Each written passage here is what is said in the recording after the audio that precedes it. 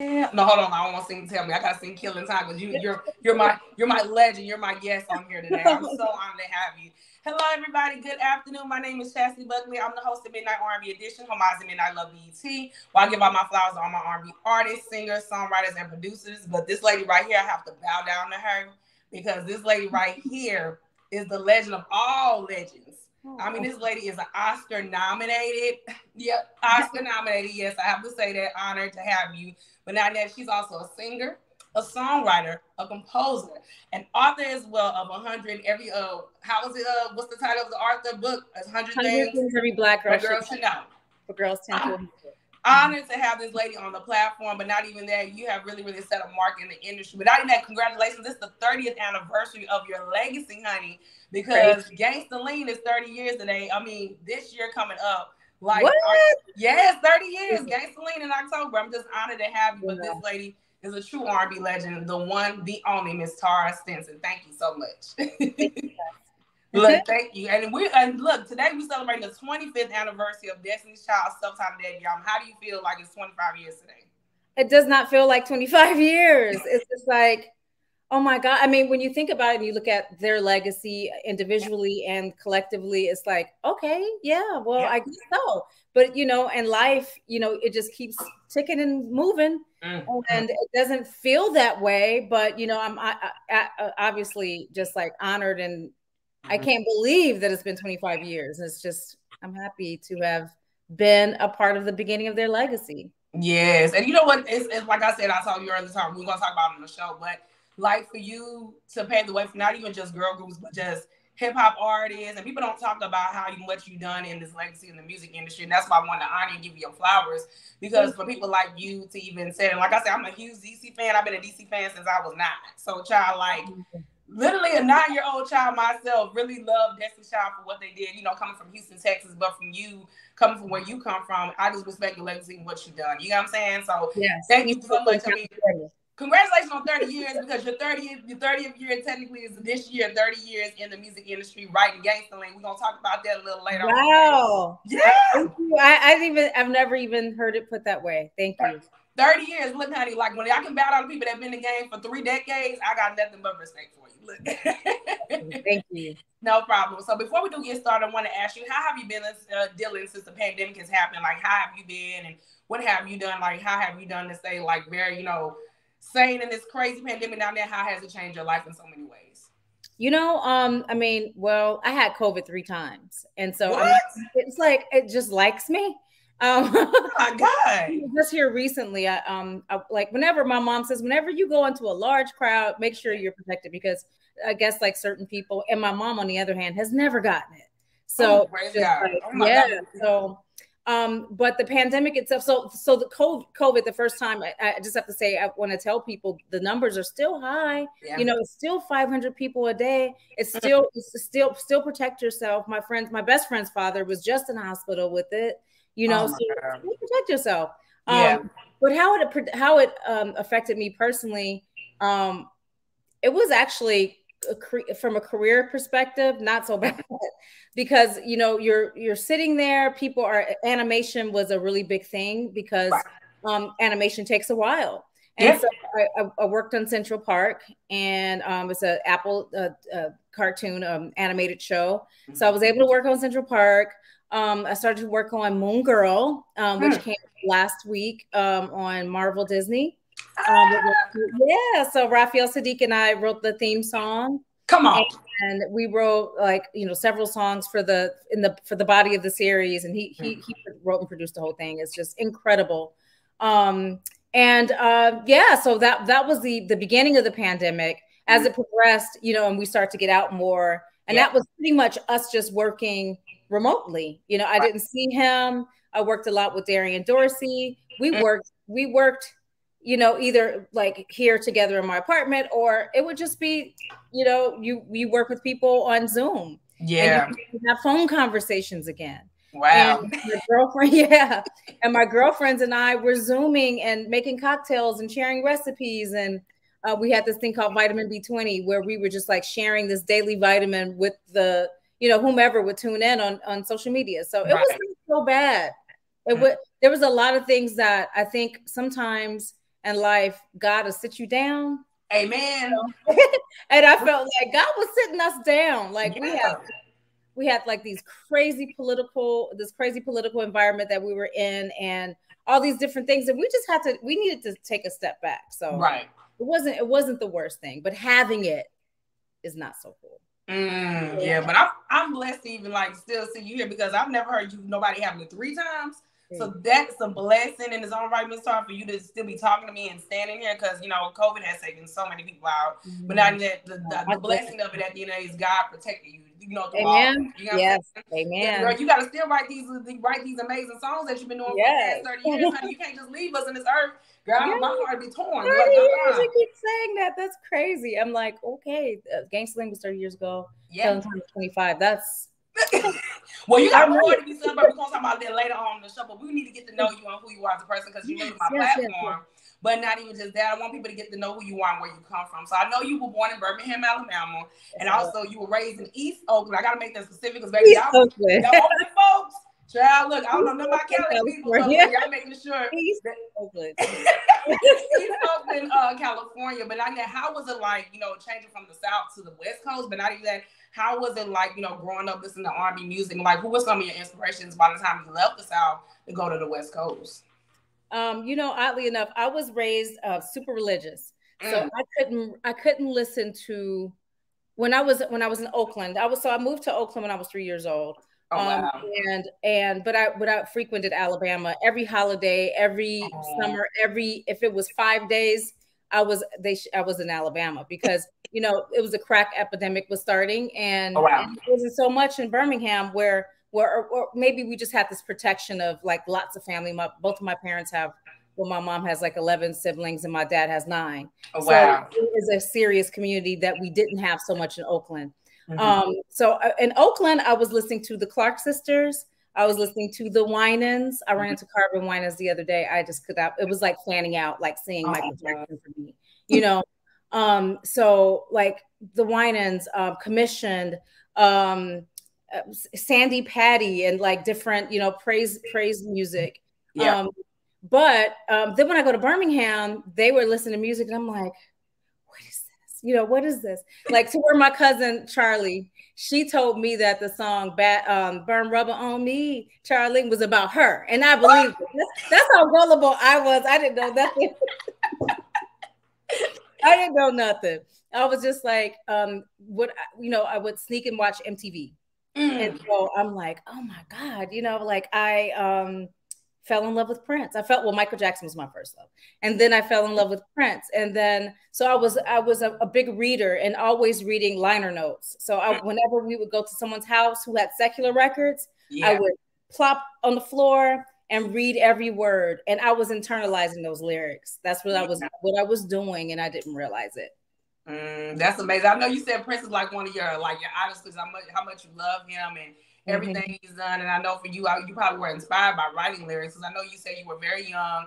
And I think one of your family members had found a book or something of you. Like, what happened? Like, how did that find about? Like, did they find out that you were investing in writing, or what was it about the creative writing process for you that inspired you to write music? Well, so that was my cousin Patria, and she she's like found a, my I had like a composition notebook that my mom bought for me. She knew early on that I was a creative soul. You know, she's oh, like, what? Like, what are you talking about? Like the things I would say. She was like, Can you start writing those down? So yeah. my mom bought me the book mm-hmm. and my cousin found it. And she goes, uh, did you write this? And I'm like, oh yes, but because there weren't gospel words, you know, I'm up here exploring. I'm eight years old. I'm seeing yeah. Rick James when I, you know, when I go to Birmingham and I'm like, Rick James is sexy. And I wrote that down and I wrote all these poems. And, and, and how crazy is that, that that's who I thought was sexy. And, um, and, wrote, and wrote everybody did. right. And so, um, and he was stylish. And I, and I was like, you know, you're building your identity and you just don't even know it. Yeah. Um, and so my cousin, she's like, oh my God, I got to show this to my dad. And I'm like, please don't, because he's our pastor, you know? and, but he was also a musician, a, accomplished songwriter, and just like a, a, an amazing inspiration in my life. And so when she took it to him, I was scared. I was like, okay, it's over. I'm going to get taken up for prayer. I'm going to be called up on Sunday to the altar.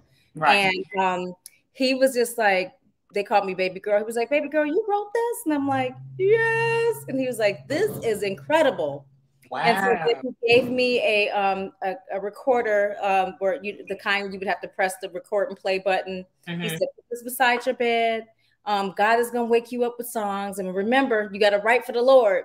And I'm like, okay. and um, and so th- at that time, I think is when I my poems, because he told me that that melodies are the sounds that words make in music. And i and i just never forgot that you know? And i'm like so now i can go like love instead of just like love you know? Whatever it is i'm gonna i'm gonna i, I can put the sound to these words and i started to do it at that time and i was right. eight years old. That's amazing. I think that's the gift and i'm so proud that your family really supported you with that because i know what a lot of people especially in you know the church they're very, very, very hardcore when it comes down to just exploring that type of music, but not even that. They feel like, you know, you go further, you're going to go to the dark side. I mean, it's not the dark side. At the end of the day, right. it's about expressing your feelings and learning from, you know, life. Because life, you go through ups and downs and just yep. understanding about things. And I think you writing it down just in general from an eight year old perspective, girl, that's a gift, a gift from God that mm-hmm. nobody can take away. You. you. know what I'm saying? Thank so you. I feel like, you know, that's truly amazing. And I think you going back home, having that home out, because I'm from the South, I'm from Louisiana too. So yeah. Uh, our, our Southern roots, like, we're going to always have a family, a bond. It's very different from the West Coast where it's kind of very different city life, you know? Mm-hmm. So in the midst of that, like as you got older and stuff, you know, go back and forth to California, how did you get into the process of the writing? And not even that, I know you say Gangsta was your first song that you wrote. Like, was it before you got with your group Image, or how did that come about? Because I know your album with that with the group in '94 came out. So how did that all come about with you writing and getting into the song placement? Well, Gangsta wasn't the first song I wrote. It was just the first song that came out. Came and out. It was, you know, and I, I, and I feel like safe in talking about this now, but mm-hmm. it was horrible. Um, oh, wow. Because, yeah, because I had to sue for my credit. Oh, see, this yeah. is what I'm talking about. Mm-hmm. Yeah, yeah. So oh, you know, I know. Mm-hmm. I, I was, yeah, I was in, um, I was in New York. I was working on the Image album, and um, or or, or uh, some something that I was doing with Image, yes. and um, and we spent a lot of time. We even moved there as a group, but. Mm um, the guy was dating at the time, he was like, "Oh, we heard the song on the radio." I was like, "Oh my god, I wrote this song," and he's like, "Oh," and he read the, you know, the people involved, and he says, "Oh, you, you know, you better be careful. I wonder if you got your credit."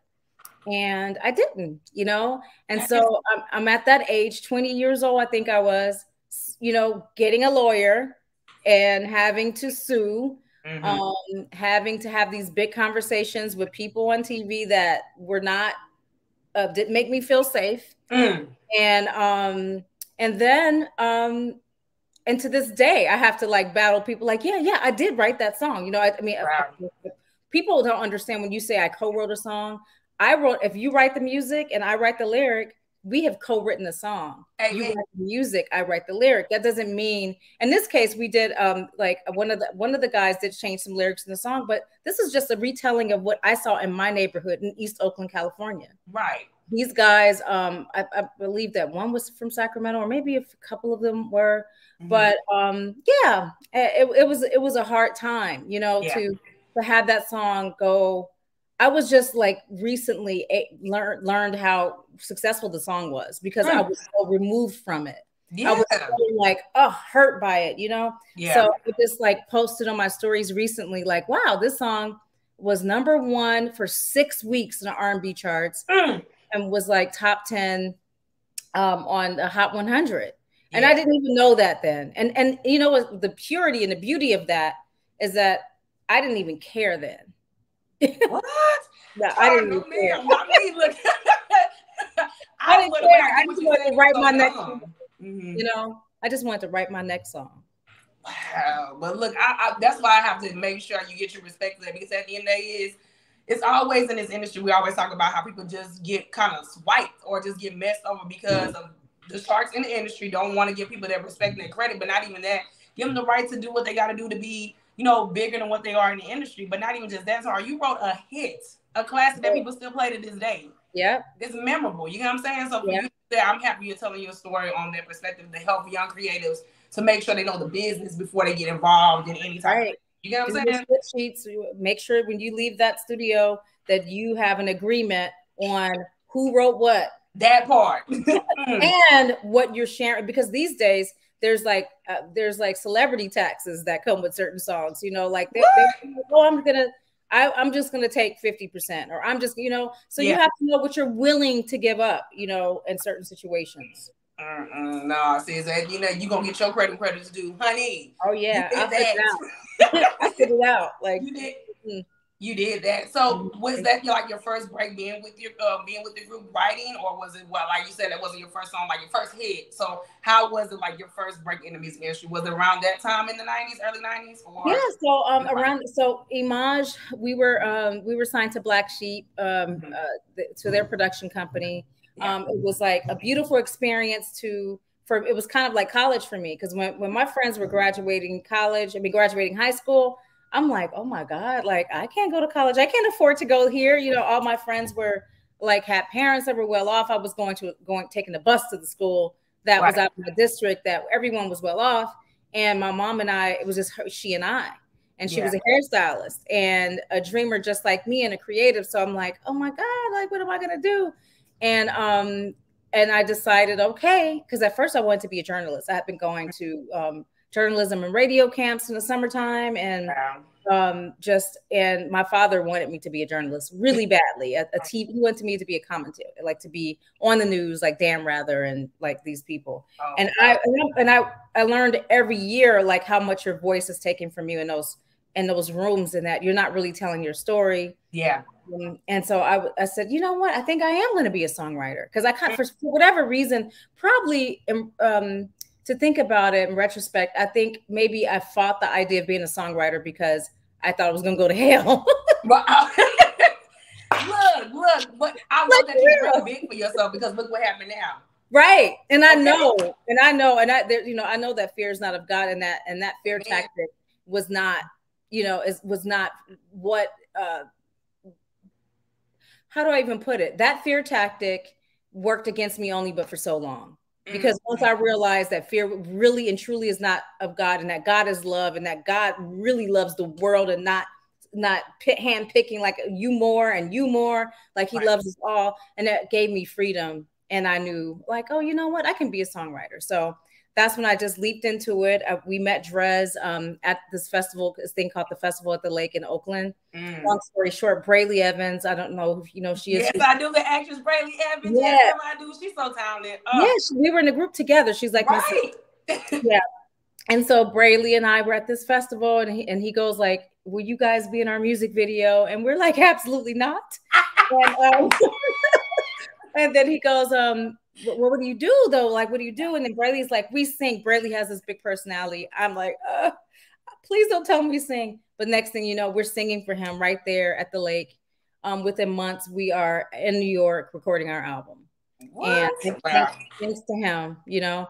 Um, so during that time, they, long story short, um, our group disbanded and Brely wanted to add another person. She went to Matthew knows it. She was like, let's add another person. And I'm like, no, I don't, you know, I really like of being here, like behind the board. Like I, I don't I, when we would perform, I hated it, you know. So I was like, let's just, you know, you you, you can go and be a solo act. I will support you in every, you know, whatever. And I'm, she pivoted to acting, which was the greatest thing, and she's still saying.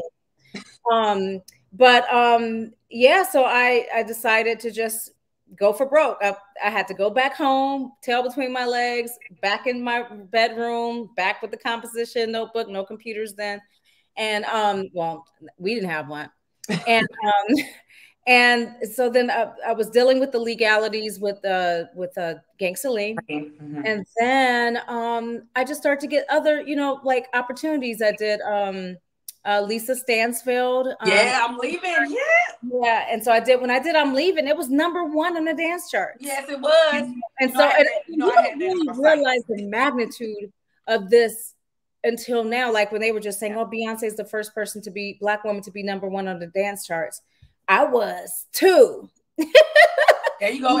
But I, but I was, but I, I wasn't first. You know, there's been many a, a black writers, but I, you know, I shared in that that victory with Lisa Amen. Um, and she was number one with that song. And then I wrote, um, uh, I, I want to say around that time is um, the Deborah Cox song, you know. So I just started. It's over now. That album yeah, it's over there. You know, I, look, you know, I'm gonna drop them, uh, them tags. You know, I'm gonna do that for you. yeah. So um, it's over now, and like I start getting all these little cuts. Um, not little cuts, but getting mm-hmm. these cuts, and then um, and honestly, it just takes time as a writer. You know, it's not like you're um, I'm in front of the camera all the time. Yeah. Like it's not, you know, it's not like uh, you can see it's it's quantified by what people can see. It's your own personal goals that you set for yourself. And I'm just happy. I'm uh, even to this day when I get a song in a movie, a song on a TV show, I'm just thankful, you know.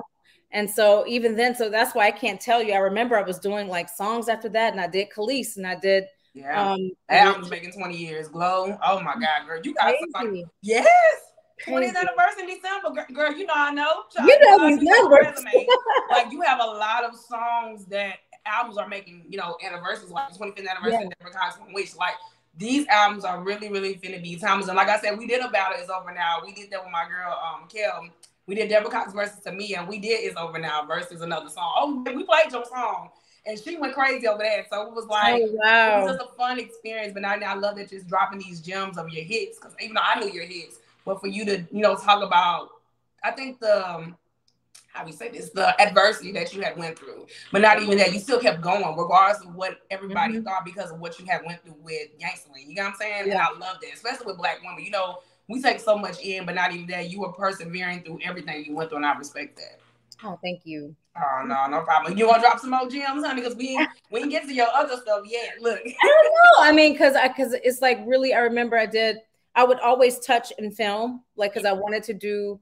I, have always wanted to write for film and TV because I'm I'm a person who, like I said, I was listening to Clark Sisters and the Winans, but then I would watch MTV. I'm watching um uh, In Love with Joni Mitchell, and then I loved yeah. Minnie Riperton. Then I had like you know Prince and all the things that comes with him being inspired by him, and so I um I wanted to write more genres. I wanted to be able to to stretch and be able to write all to to speak for all the parts inside of me, the voices inside of me to be able to speak, you know? Yeah. Exactly. And so um I would try my best to like, oh, I want to do it. And I would always tell Raphael, like, we gotta do film, we gotta do film. And um we did like um Take Me Home, I think it was for uh ooh, it was a barbershop or the beauty shop soundtrack. Mm. It, and it was like this really cool, like little dance song. And then we did Terry Dexter for one of those uh, Deliver Us from Eva. And so we were tapping in, trying because he had already had legacy with um, some of the songs that he did. exactly. We are we right. You, yeah, but the Peaches and Herb asked for uh, you know, that's y'all. That's y'all, y'all have together. But it's amazing. Oh, but, but like a brother, but um, but he um he was like, you know, he, but he was so focused on like he was doing Instant Vintage, which is one of the greatest albums of all time. Um, he was doing Instant Vintage around, you know, uh, that time, like yeah. prepping for that and doing those things. So he was less focused on, on, on film and TV. But I was always asking him like, "Oh, can we please do film and TV?" You know, right? Um, but we were, you know, we were like working with Earth, Wind, and Fire. We did um, "Show Me the Way," mm-hmm. "Show Me the Way," which was like their their comeback song. They were Grammy nominated for it and um and I did we did several songs on that album. There's one wow. called Pass Pass You By that I just I listen to every now and again out of love. So yeah, it was just like but it was a grind, you know, because it was like um to be co completely honest and there's a you know Tiffany Red, I don't know if you're familiar with her.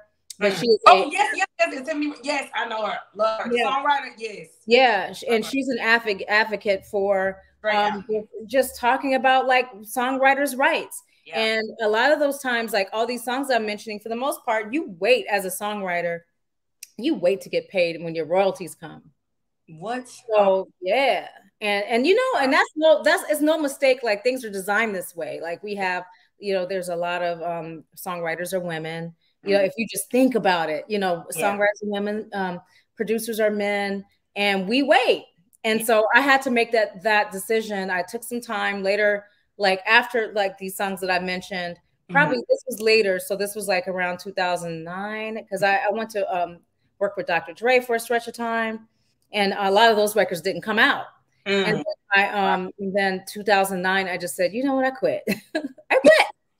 and so I um, became a personal assistant. And um, yeah, and at that time, I, like when I worked with Dre, I, um, Paris Hilton came to him and said, "Hey, can you um, do a song for me?" And he's like, "Absolutely not." But I, um, he said, "But I know someone who can." Right. So he connected me with Paris, and um, and it was it was, and we we became friendly.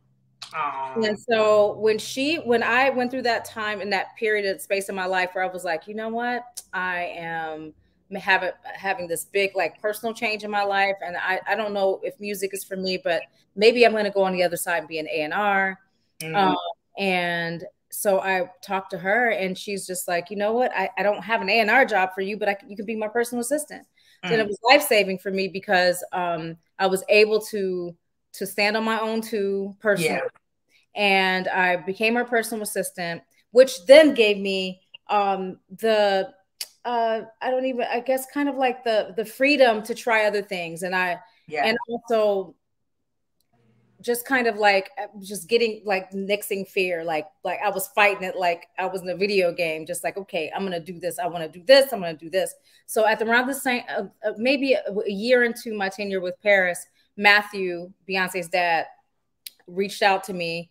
Um, i was really close to them like during the, the destiny's child process. Um, my ex was like was someone who was really um, important to them and their developmental process, as well as my good friend Shakir, who signed um, Beyonce to her first um, writing, her publishing gig. Mm. And so uh, uh, Matthew reached out to me and said, "Hey, you know, I'm going to be doing Sunday's Best, and I think you have the ears to be an A and R." And I'm like, "Oh, really?" You know, because you just you you. But then you think about it. When I thought about it, I'm like, "Oh, this I know gospel like the back of my hand. I was raised in it. I know what sounds good. Mm-hmm. I know." And so I um I, my first record that I A and R was Le'Andria Johnson, and she won a Grammy. And mm-hmm and every artist that we worked on for that um, for for the Sunday Best uh, Music World brand was number one.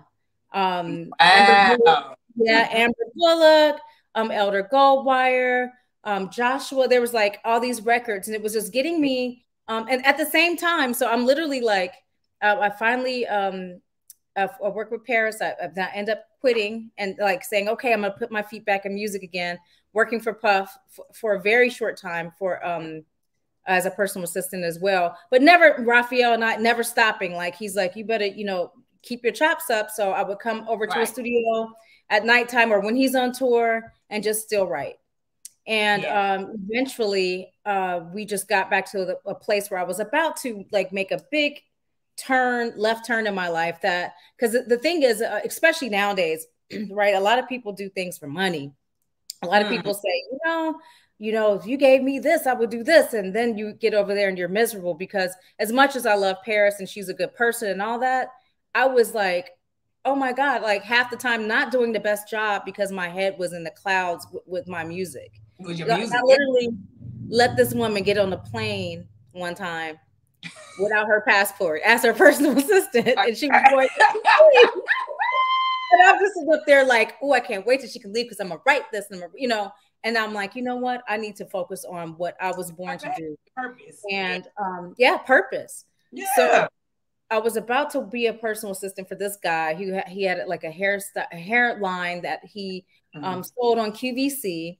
I yeah. was going to be going with him. I would have been bi-coastal. I would have made tons of money. And um, Raphael just said to me like, "Hey, like, do you really like? Are you really gonna do this? Like, right? You, probably not gonna write no more if you do this. And um, I had to I had to say no to the gig, yeah. and I ended up and I end up getting a job for like twelve dollars an hour, mm. and I and like literally, and and then I but I focused every night on writing again, like I, and I and, and changing my focus. Like I know that I want to write for film and TV, mm. and that's the energy I put out there. That's the prayers I put out there yeah. Um, the work I put out there to find out like who who do I talk to and and just also just like God bring them to me. If you call it manifesting, you call it believing. I, I my mantra is believe, become, and I believe mm. whatever is in your mind of the what you harp on the most is going to become your reality. Yeah. Um, and so I, I, I was like, okay, we're about to get a movie. We're about to get a movie. We can get a movie. And next thing you know, um, Raphael and I, we did um we did at Beyonce's animated debut, which was called Epic, mm. and we wrote a song for um, the rock legend Steve um, Tyler from mm. Aerosmith. From Aerosmith. Yeah. so we wrote uh, we wrote a song for him, and then wow. the next thing you know, the same company asked us to do um, uh, Black Nativity.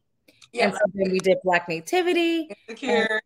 Oh my God! I, and I, you know, such, such, I love that. I love so so many of the songs from that um film. Yeah, y'all did y'all thing. Y'all rock baby. That was Thank you. You hear me? That was my show. I was obsessed with that show from the beginning, the way it started to the end of the show. Like the music y'all put on there was very inspiring. Not even it made me go and understand other artists. There's other artists out here besides the mainstream, and that's what I had to tap into.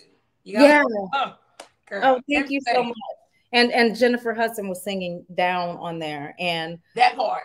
yes, and um, Darren Darian Dorsey and I did a song for that, like it was a, a duet with Angela Bassett and and um mm. and Jennifer Hudson, and Angela had never sung before, and I have to get like share just for people like who are acting and and writing and yeah.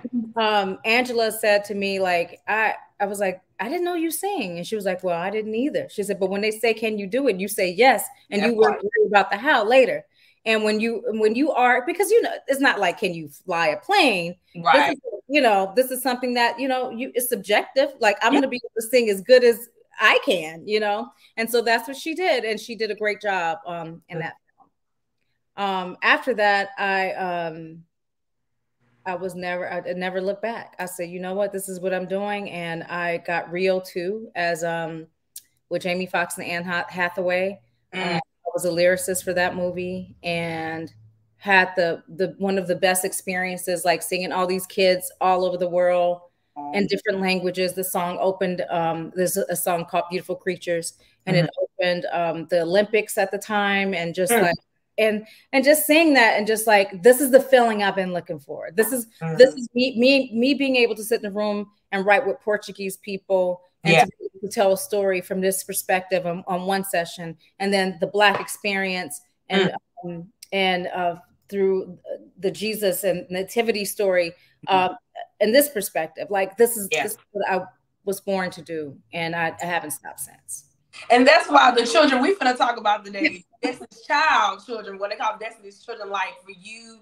I love that you bring that because you're tying it back to it, it. Like I always say, connecting dots. So I gotta shout out my friend y'all, connecting the dots when you're talking about your legacy. But for what you've done, you you reached out to all walks of life, and that's what I love about you, Miss Taura. Like you're really making me understand that you know you wasn't just set to do one thing, you were set to do multiple things. You know what I'm saying?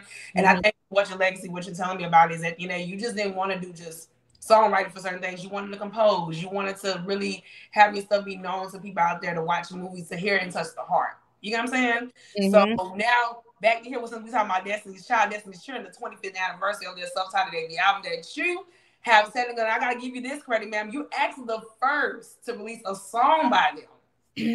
You're the first. Yes, you are. Not, no, no. I know we give no no no part to a lot of um respect because it was the first single off the album, but technically you gave them "Killing Time," and that's really amazing because it was on the Men in Black uh, Men in Black soundtrack that went triple platinum, four times platinum. Child, it probably more than what we know now. Yeah, but I didn't feel the process when you were with them, and then at the time, like this is when Dwayne and you know got involved and stuff like that.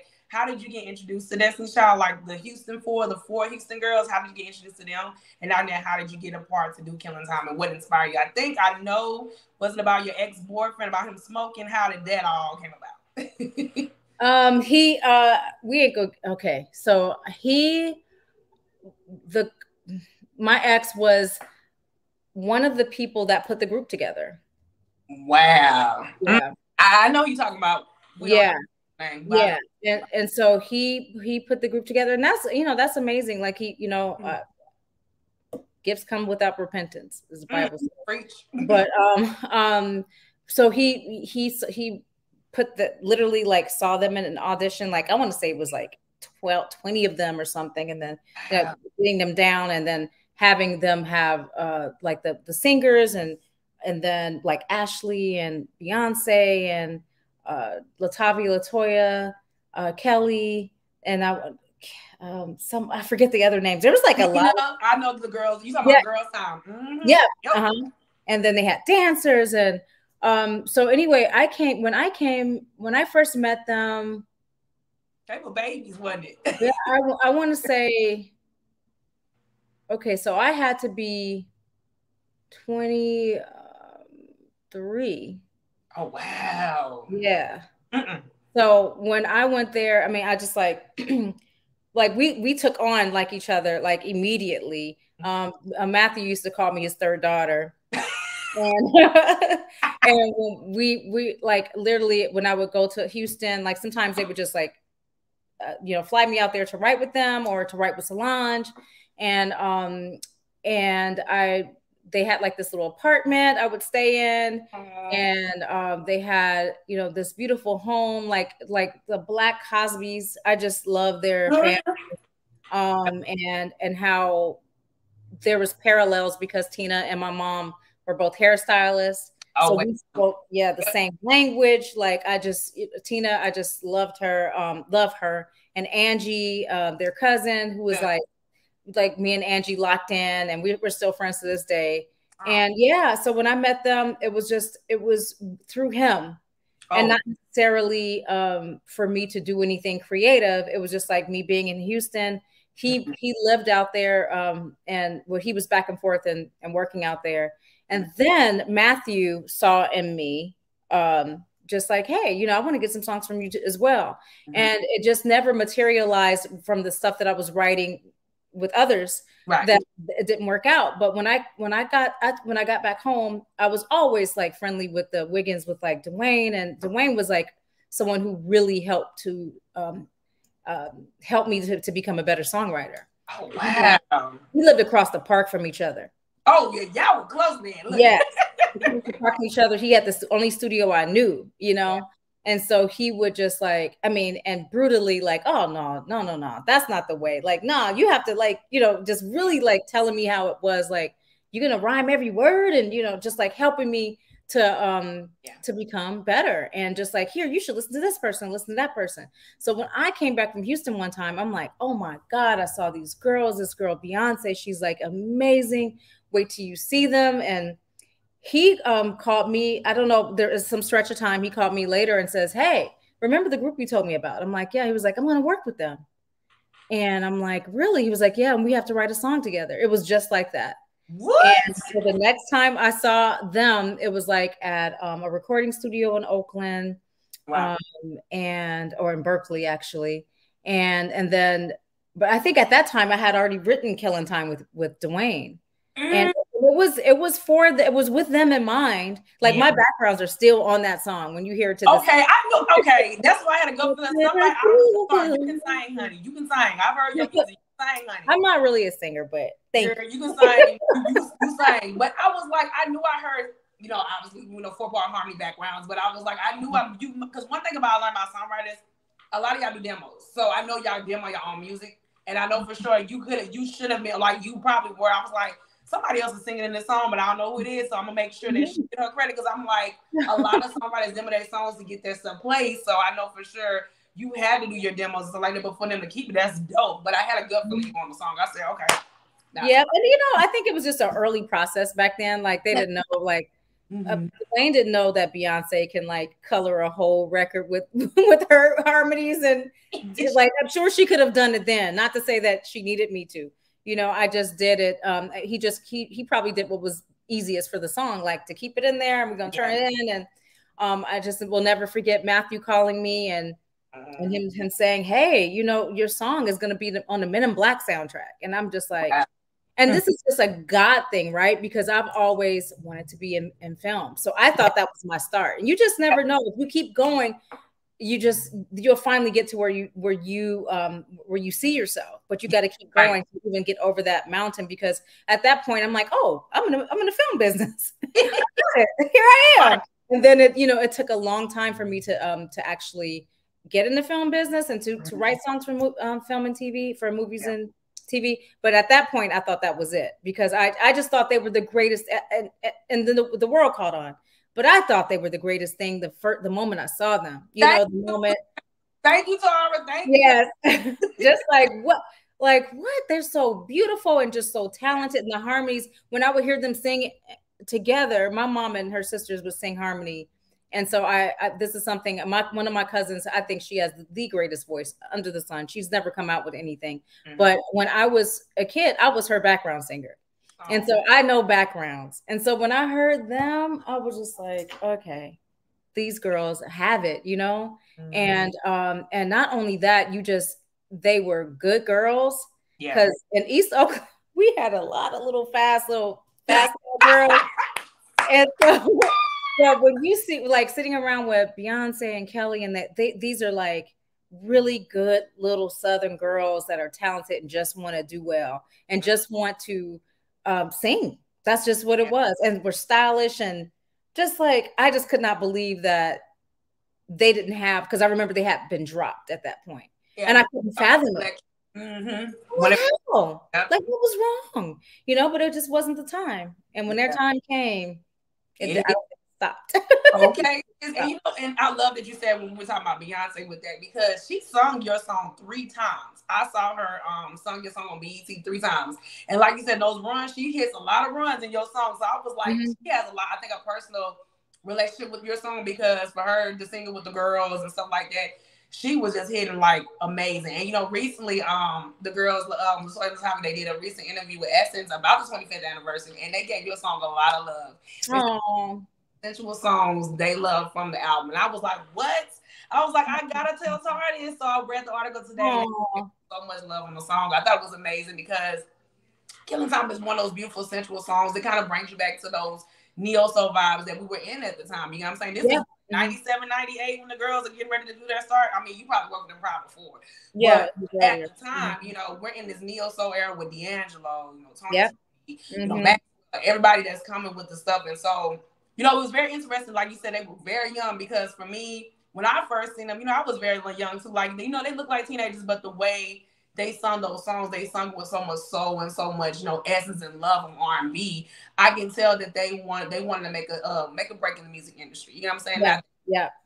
For you to give them that start, and not even that, the album went. I mean, at that time, Men in Black went three times platinum. So, girl, you literally gave them a triple platinum album before they album even came out. So yeah, it, it went like I don't know. I'm not gonna say I don't want to, to misquote it, but it I, have seen a, a plaque that had a lot of them, and I wanted one. I haven't got it yet. Well, since but. we need to get your get your stuff. yeah, yeah, I need to get one.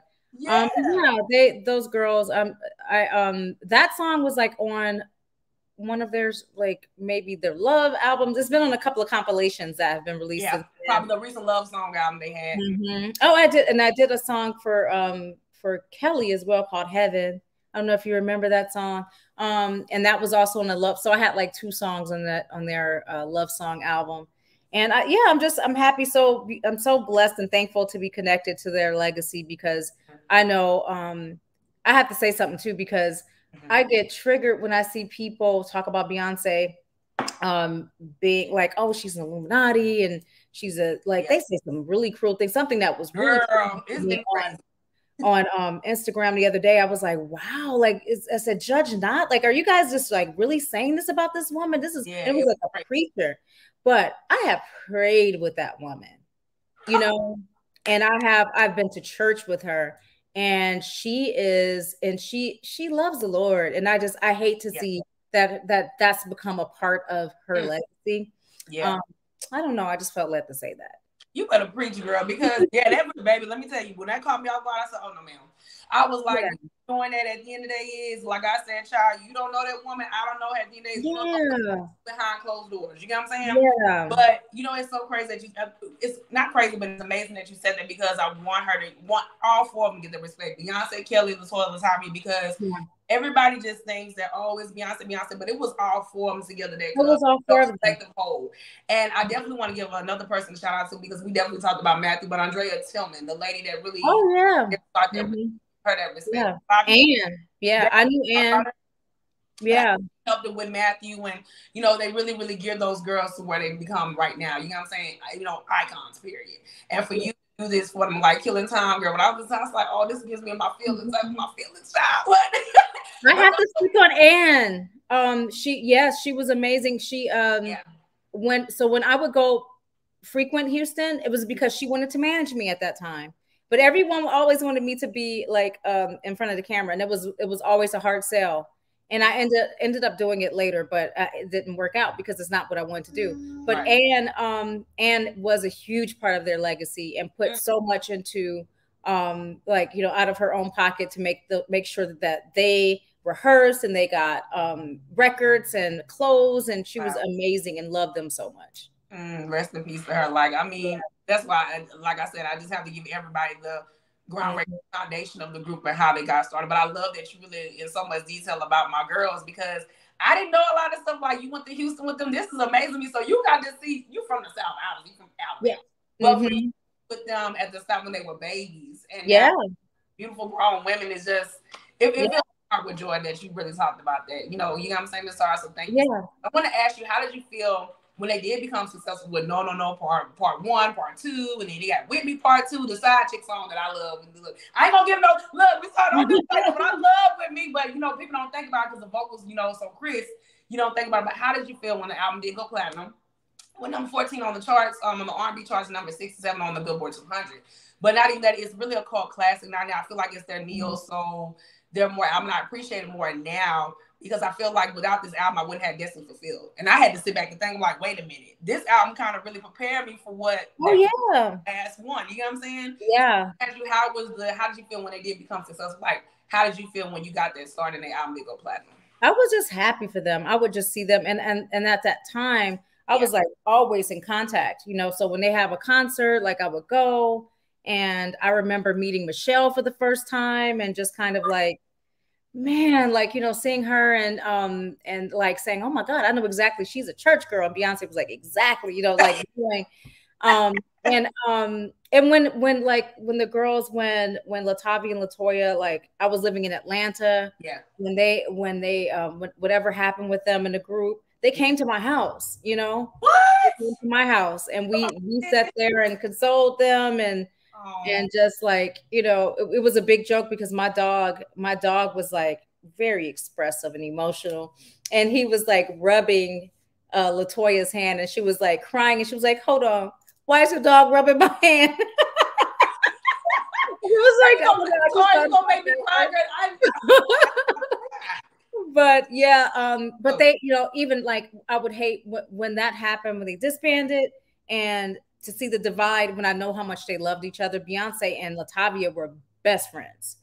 And um Tar, you about to make me cry, girl. I, girl, I never heard these stories, girl, because it just makes me sad about how the beginning happened and where they were now. You know what I'm saying? Yeah.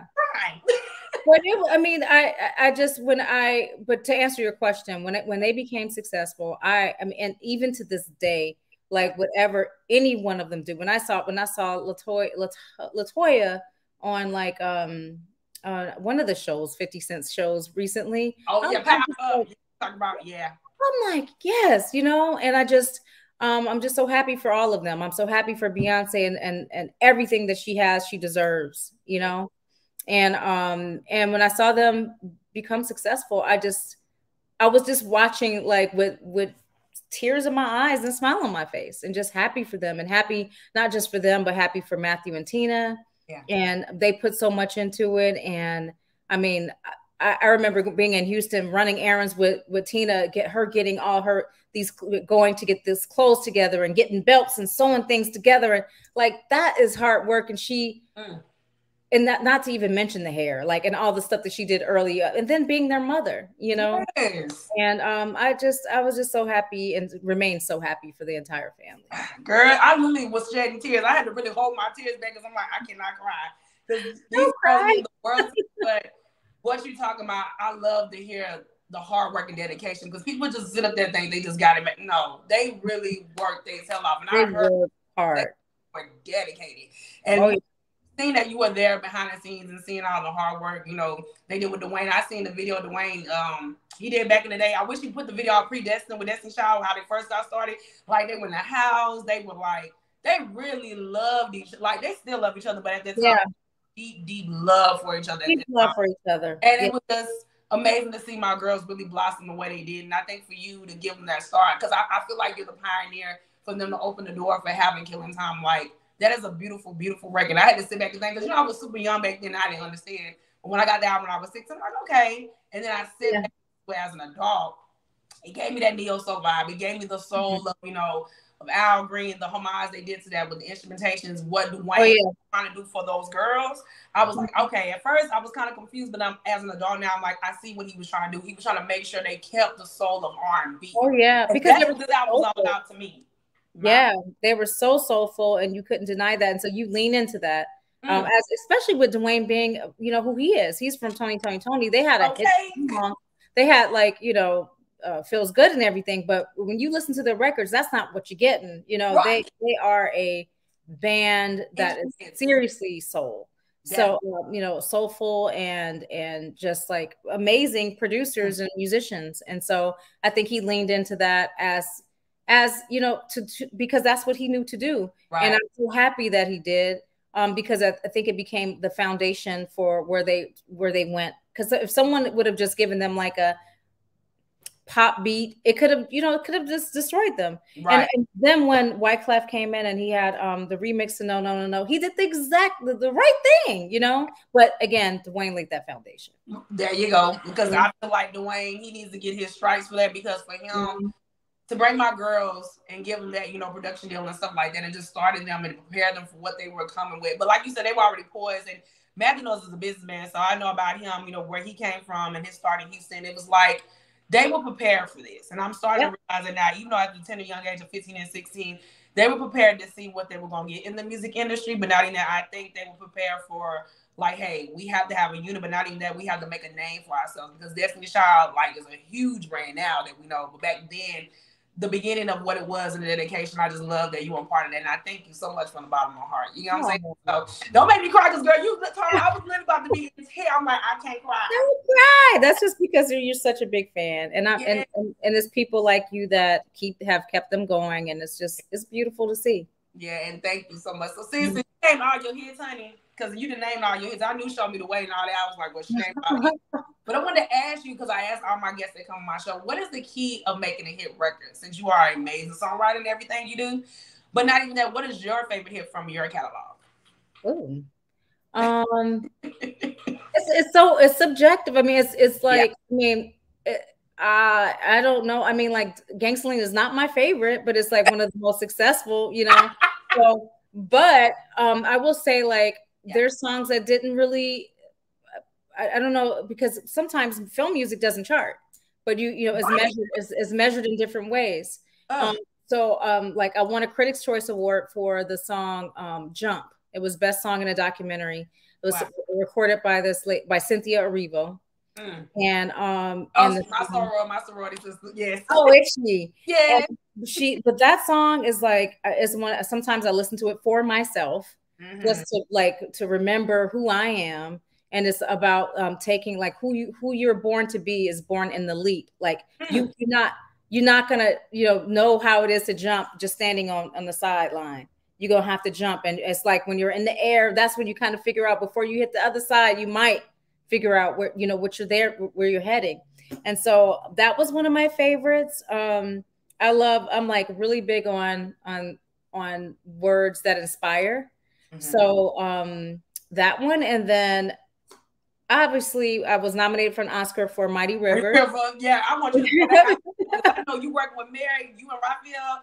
Girl, that process, I mean, that process was just amazing. Y'all were just in mm-hmm. y'all bag. Like, how did it feel when you, like, how was that? And then I, how did you feel when you got the call from that? Like, it was, um, I mean, because I had already worked with Mary on um, Black Nativity, mm-hmm. and so, um, and uh, Raphael and I were, were, I want to say he called me and just said, "Hey, you know, we're going to write a song for this Mary J. Blige movie." And when she came over, we had um, gone in the wrong direction, to be honest. Like, we had, yeah, we, we, we were thinking like we were just so excited to work with Mary. You're gonna be like, boom, like a, a rah rah Mary song. And she was like, I remember being in a booth and she came into the studio and I just saw her going like, no. I was like, oh no, what is she saying no for?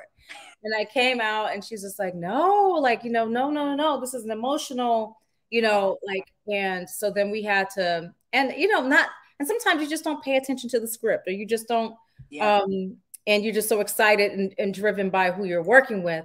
And so it was kind of like, okay, well, we have to turn this around in the next 48 hours. Right. And so, uh, so sometimes you don't see the beauty into it in it until it's behind you. mm-hmm. That was one of those situations where you're just like, you know, um, this movie was very heavy. Yeah. Um, what's the opposite of this mud? Well, we need to wash it clean in this river. you know. oh, that makes girl. That's why you the genius you are. I about my friend Jr. He's a huge Mary J. Blige. He loves that woman. He he talking about this song like so he loves Mighty River. He oh. Like he watched the movie, he said it was very proud. So Jr. You get your shout out, honey, because he. Hey Jr. okay, look, get Mary J. Blige, but yeah, it makes so much sense why the way you write, the way you write, because what I'm learning from you, you take personal situations and make it into a story.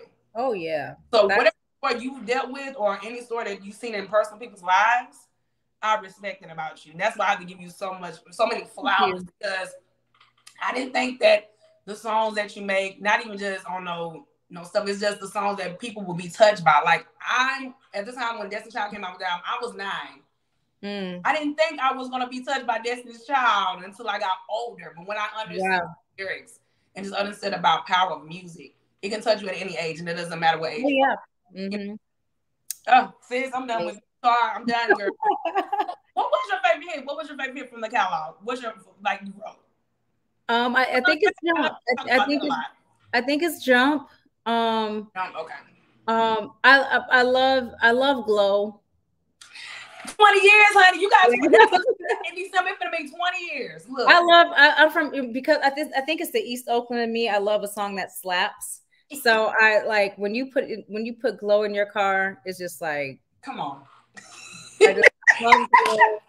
um, and you know, I, I really it's almost like I don't have children, so like music are my kids, and um, so it's hard to name a favorite.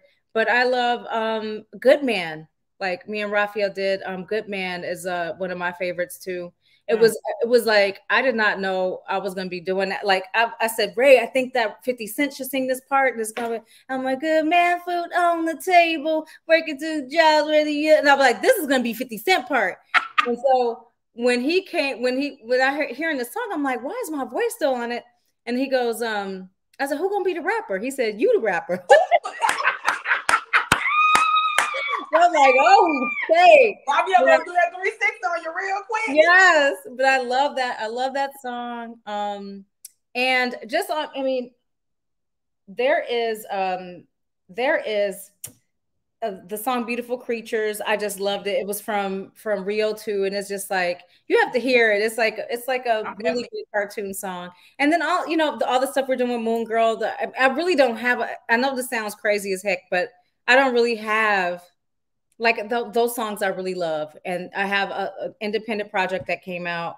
Well, um, you know, Freedom is making five years on March second, honey. So you gotta congratulate. That's crazy, yeah. girl. You know I keep up with dates and numbers, honey. So yeah, I was like, this is a very very beautiful record. I was like, and then you were independent. That was from um, that was from the underground mm-hmm. TV show, The Underground. But there, there was another. I was in this like I did this duo with my friend Chrissy called mm-hmm. Art Piece Okay. And, and and we had like these incredible songs, but it was like at the beginning of streaming, and so uh, we didn't really know how to put it out, but we put it out. But these are beautiful songs, so I just like it's almost like it's hard for me to. It depends on the day. Yeah, we need your we need your songs. Obviously, look, you grow for people, but you got a voice in yourself, and that's the blessing I learned about you and your legacy. You know what I'm saying, Miss Taura? So you just Thank you. you just gotta look, look, sis. I support you 100 percent in everything you've done in this music industry. Your story needs to be told, and your voice. You have a voice. You know what Thank I'm saying? Thank You so much about you. So I want to ask you, what's your favorite thing that you like doing though? Do you like songwriting, singing, composing, or being an author? Ooh, whoo. Um, I love songwriting. I think I, I yeah, you know I love songwriting um your uh your author for your book because of what you inspired because I I I seen a lot of commercials on it and you touched me with your story because I was like, whoo, Lord, I ain't want to cry, but I was like, but songwriting I can tell because of your personal story, whatever story that you have told is in those. Yeah. I'm not. Yeah. And when you asked the question earlier, like what what do I think is um, the key to writing a hit? Mm-hmm. Um, and it, it it depends because you know hits or some people there's hits like people have Rihanna like these big huge songs like Esther Dean and yeah. those songs are may come from a different place of just like less you know we want to we writing for the people yeah um, I come from a place where I write songs it's more mostly cathartic for me that's healing for me Yeah. you know, and that and so I think then it gets it reaches people in a different place. Um, um and the same with you know with other people who uh who write in that way, like Joni Mitchell or like um Joni Mitchell never last. India.Arie or even or even like like some of the like uh the song Girl um by your girls um, by Destiny's Child. I just yeah. songs like that, songs that just like tap into a different place in you. Mm, free. Oh my god. Mm. Like me, myself, and I. Let me girl, tell you, awesome. girl, that is my song. Tell you, there's something. Whoever I know, Scott Storch maybe. I'm not sure who else who else wrote that song, mm-hmm. but that song carried me into in a play in a from one place to the next at one time in my life. You know. Yeah. And so I love music like that. And so if I can, if I am the vehicle sometimes to to to drive that out to people that's beautiful but i'm also uh, love to be a passenger just lo- i just love music but, but i love writing i just love writing words period Yes, because baby, you always pushing the word with that pen, honey. You, you or, or, you and Raphael Saadiq together, whatever y'all do is just magic. And I think that's why it inspires so many people, especially with you know, being in TV, I just was like, wow, you know, the stuff that y'all been doing insecure, honey, it was making me cry. I was like, let me. Mm-hmm. That was him. That was him. That was uh, him. I, I, did. I did a like some. I did a rap, some raps for Issa on um insecure. but I didn't. Like, Raphael was composing that. Oh man, like oh, thank you, Miss Star, so much. So I got another question to ask you. So if you today, since today is the 25th anniversary of my girls, DC, the legacy that you have created for yourself for these girls. If you describe one word about this beautiful timeless album today, what one word would it be? Timeless. Mm. Mm-hmm. Timeless. Wow. Timeless. It's like, I mean, we're here talking about it 25 years later. Wow. You know, it's and it's still you can still listen to it. Like not not just killing time. I remember um my favorite song on that record used to be um uh, Second Nature. I love Second Nature.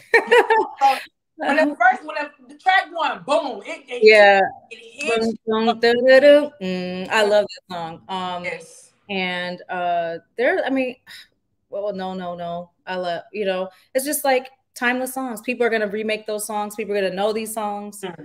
Um, I'm so grateful that you know they're still talking about killing time and that it's a part of their legacy and that yeah. um, it you know that they're even still talking about it when when i when, seeing them perform that um and their concert i think it was like a trl tour yeah and i was just like in the audience just like oh my god and they're like and Taura's here and i'm like oh it was like a beautiful memory you know um, mm-hmm. Oh, I what I agree with you is definitely Thomas because it changed my life because I became a super fan. But not even that, I feel like this is their most soulful album.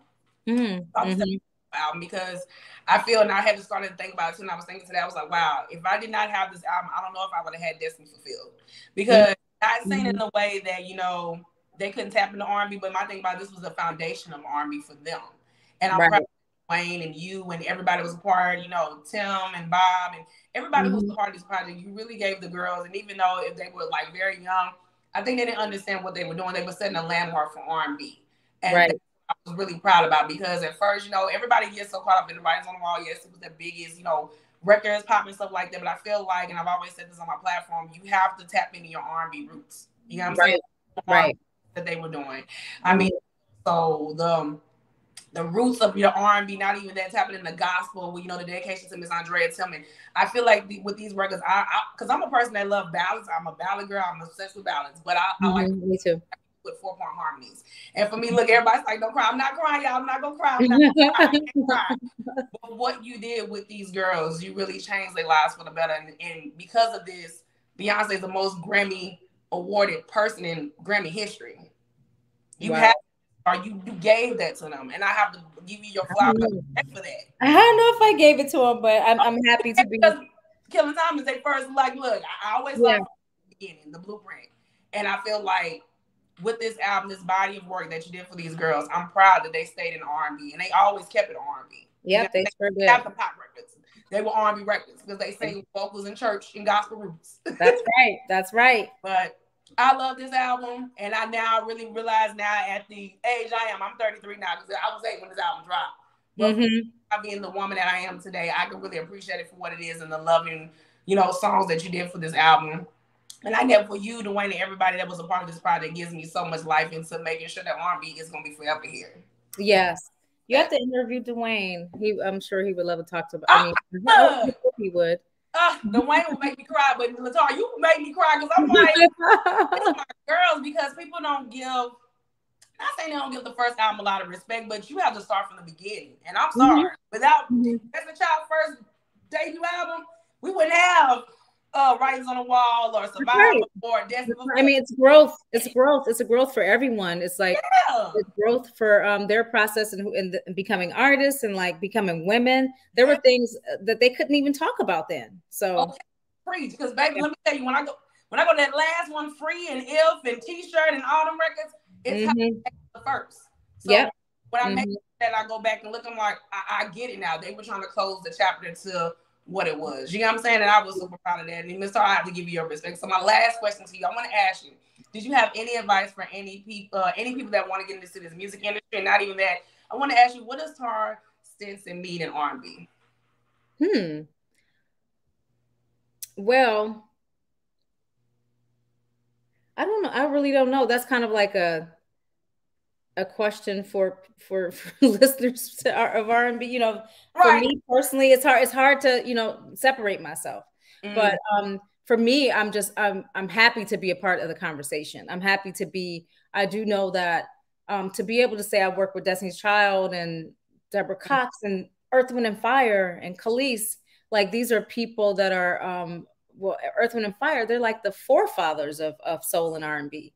You know, so to be able to for for um for Maurice White to tell me that I got it. I don't really care what anybody else has to say. okay, girl.